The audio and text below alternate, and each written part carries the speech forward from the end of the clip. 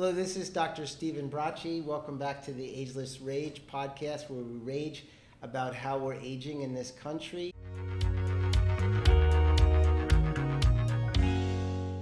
Today's topic is a very important one to women, has to do with menopause, hormone therapies, and what options they have to avoid all the symptoms of menopause. Today I have my esteemed guest, Dr. Uh, Elizabeth Ramirez. She's an OB/GYN surgeon and she's the chairperson of her um, hospital in New Jersey, Christ Hospital. Uh, so I want to welcome you, Dr. Ramirez. Um, tell me uh, a little bit about your practice and your experience. Well, thank you very much for having me here today, first of all. Um, so I have currently um, two practices. Uh, the name of the practice is called Jersey Women's Care Center. One is in Hudson County and the other one is in Bergen County. I've been practicing for about 17 years and have a very special um, interest in menopause. And the reason why we got we I invited Dr. Ramirez because I know this is not only her passion, but this is something she does every day. And I felt that was a very good way to have a segue into this conversation, talk to somebody who's really on the front lines discussing this with patients every day. So welcome again. Um, can you tell us a little bit about um, uh, about what menopause is? Tell us a little bit about what the medical diagnosis is. So menopause is basically um, amenorrhea for approximately 12 months. And amenorrhea means not seeing a menstrual cycle. So it is a retrospective diagnosis. So it's after the fact, and it's after the women have their last period for one year. That afterwards. is correct. Then they're definitely in menopause. Um, what do women really share with you? What is the big thing that drives them to discuss this, or how do they? How does this topic come up in your in your office? So there's certain women who are highly expressive and there are certain women that if i don't ask the question they will not tell me that they're going through the changes of life and the women that do come in uh, for consultations the most common symptom is hot flashes that's that's what that's the, how the topic start starts that is correct um, and so tell us a little bit about about hormones in general how does that affect women from their first period through through pregnancy to the to menopause. Tell us about the whole cycle in, in a nutshell. So basically, we'll start from puberty, uh, in which there is an uprise of estrogen, and that leads to changes of the secondary um, sex characteristics. Then you have adolescence, in which a woman starts having her menstrual cycle. Then there is pregnancy. Again, there is an uprising of estrogen, in which it prepares a woman for breastfeeding and also for labor. Then, after they deliver a gorgeous baby, there is withdrawal of estrogen, and they start having certain symptoms, which means that they feel that they're shedding hair, their hair is thin, they have vaginal atrophy. Then there is what is known as the perimenopausal um, state or the menopausal transition state, which is you know, around the 40s. And menopause, again, like I said, it's a retrospective diagnosis, and the average age is 51. So, getting back to this period where women experience this after they've delivered, they have this withdrawal of estrogen, and that's like a precursor to what they're going to experience when they actually get into menopause, correct? Yes, they start complaining that the vagina feels extremely dry, they're they're basically they're having hair loss they feel fatigue in additional to the hormonal changes but they also have a newborn baby that they need to uh, you know adjust and and depression is another big thing. and depression is a, a big thing as well. So in my practice i'm clinically based on aesthetics and the big thing that i see women complain about is they complain about their skin. They have dryness they see more sagging and they feel like it's not necessarily even. It's almost as if they they have this steady state of changes that go on, and all of a sudden there's like a cliff that happens, and they see these big changes that they that appears what in their mind with relatively soon, like within a year or two of their last period. They really see big changes, and the, obviously the hair is a big thing.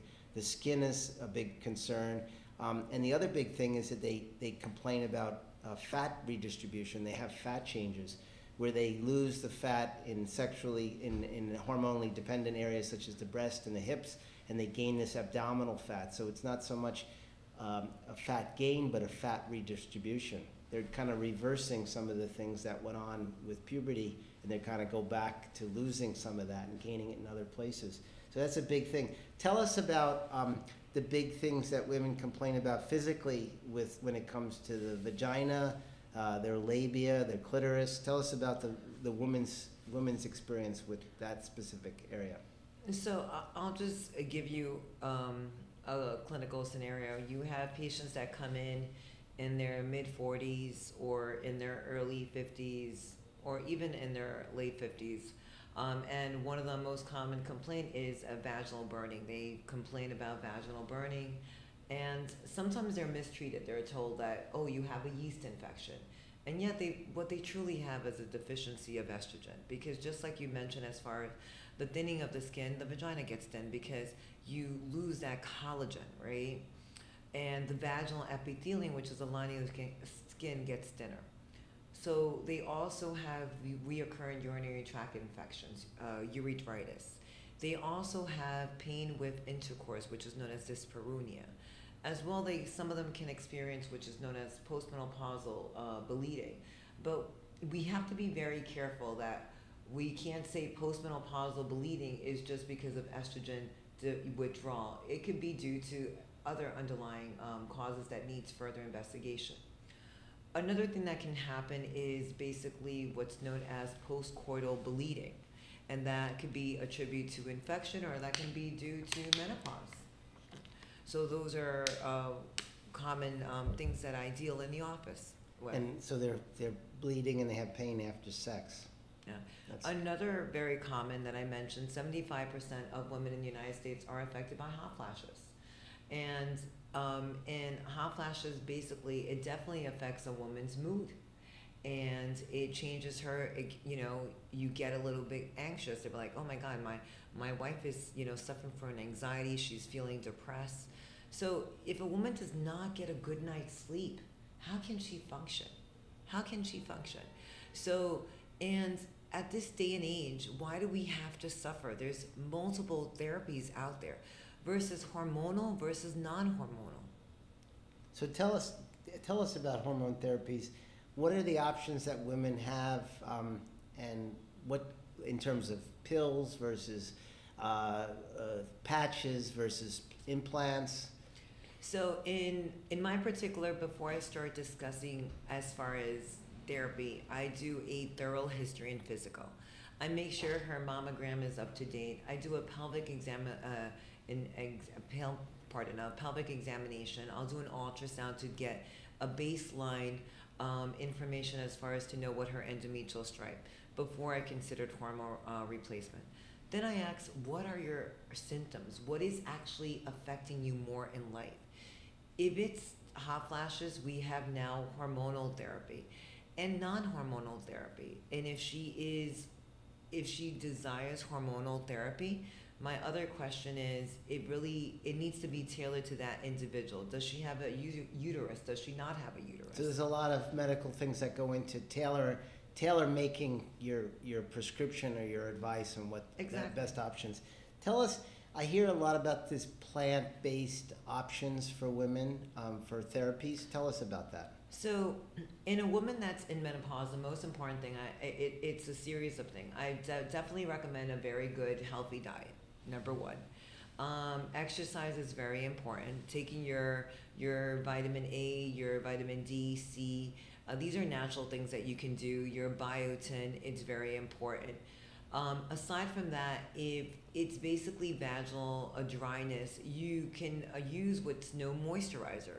One of the most important thing in or, order like to prevent wrinkles is hydrate, hydrate, hydrate within with water, and hydrate with creams. And now we have hyaluronic acid that we can use in our vagina in order to maintain that lubrication, that moisturizer. So um, it really depends on their symptoms and it also depends on as far as their clinical background. So I think this is an exciting time. I think people have options now. Like one of the biggest things that I see in my practice is when I walk into a room I can tell, like, if I see a 60 year old patient, I have a sense right away that they're on hormone therapies. I know because they can be doing all the cosmetic things and have lifestyle and diet, but there's something very different about them. And I, and I, the, the, the experience that I have is when I ask them about it, they usually open up and they tell you how good they feel, how more confident that they feel, how they feel compared to their to peers that their same age. So there's this whole thing that a lot of women are really not sharing with other people because it's like a taboo subject. But when you see the women and you see how they how good they feel and how good that they look and how energetic they report that they are, you say, well, why don't more people know about this? Why is it such a hidden taboo subject? So we basically need to eliminate this taboo. We're in a whole different generation, so we need to express ourselves. And why should we suffer from hot flashes? Just like when I have a patient that's in labor, why do you want to push without an epidural? Why do you want to have pain? So I think we need to, that's why we're here, bring, bringing it out there, let women be informed. There's different therapies, there's hormonal therapies, there's non hormonal therapies. And of course, if you are sleeping every night, you're going to be with more energy, you're going to feel more alive. But if you're having like four or five hot flashes during the night and you're not able to get a good night's sleep, of course you're gonna have mood changes. Of course you're gonna feel depressed. It's like, of course you're gonna have brain fog that people discuss about that during menopause. And another thing, exercise is very important. Weight training is very important. Uh, healthy diet. So there's a lot of things that come into play. Well, I, I had I've had women tell me that they basically were doing everything. They were athletes. They had good nutrition. They went through menopause, and they experienced muscle loss that they couldn't seem to regain. And then when they started the hormone therapies, they felt like they gained that muscle back. They felt like they got that performance back. And a lot of women don't even understand or equate that as an option. They just think it's just aging. It's not, you just feel fatigue and tired. So you really have to but again, regarding the hormones, everyone is an individual, so you need to evaluate your, you know, every person. So the biggest question that women, once I bring this subject up to them, they want to, they say, well, where do I go? Where do I find a doctor for this? What, because a lot of times their OBGYN doesn't, doesn't give them this option that you give. You need to do your research and also go to your OBGYN, have a nice, you know, conversation you need to feel comfortable with your doctor. So you, you need to be able to express. So you think it's an individual thing if they're not getting it from one OBGYN, they have to find another Absolutely. one. That's the Absolutely. big thing, is, is finding the doctor who can answer Who's these right questions. for you? Um, so l- lastly, I just want to, what are the, some of the big areas for hormone therapies where women really wouldn't be good candidates? Um, I mean, the woman that we don't recommend hormone uh, replacement therapy, we basically recommend it to start in a younger age, not to start at 60, 65. So I recommend it uh, ideally in that perimenopausal um, state. And contraindications, of course, are if they have coronary artery disease, number one, if they have any estrogen secreting tumor like breast cancer, endometrial cancer is not a good candidate any history um, as far as they have, um, you know, a DVT, a venous thrombosis, is also contraindicated. Um, severe hyperlipidemia, the triglycerides are like above 500. You're not going to start a patient on estrogen that they can get like a stroke, you know, a blood clot or so forth. So again, you have to tailor the treatment. You have to do baseline labs when you see a patient. You have to do their lipid profiles. You have to check their TSH. You have to do a thorough um, history and physical mammogram as well as a pelvic ultrasound. So there's a lot of medical details that go into this. It's not exactly. a it's not a quick decision, and it really comes down to severe, I mean, serious medical um, discussions, and then and then the intimacy of your physician. Absolutely. Having that. Um, when women go through menopause and then they experience the improvements from hormone therapies, we talked about what it is they go through to lead to. Once they get these therapies, what do they tell you? What's the feedback that you get from the women once so, they have the treatment? So my patients are extremely happy. Um, they they don't want to stop their therapies at all because they just feel that they're alive again, like you just previously mentioned. They're able to function. Um, they have a, a normal sex life again. They don't feel fatigued. They don't feel tired. They're not having these hot flashes that are interfering with their, their life. It's like a reawakening. Exactly. But remember, menopause is not a disease. It is just a stage of life. And we just need to deal with that stage of life. And now we have options. And, and I, the main idea behind this podcast is to give women the idea that this is a normal part of life. And, and now they have options and, uh, and they should seek out the, the, the intimacy and the privacy of their own physician and That is- discuss this and find what options are best for them. That is correct. So thank you so much for joining us, Dr. Ramirez. Uh, it's been a pleasure talking about this. I, I feel I feel women can have the confidence to go and have these conversations now with their own doctors. Um, and I want to welcome all of our listeners to continue to follow us on Spotify and Instagram and Apple uh, podcasts. So thanks again for, for coming along. Thank you for having me.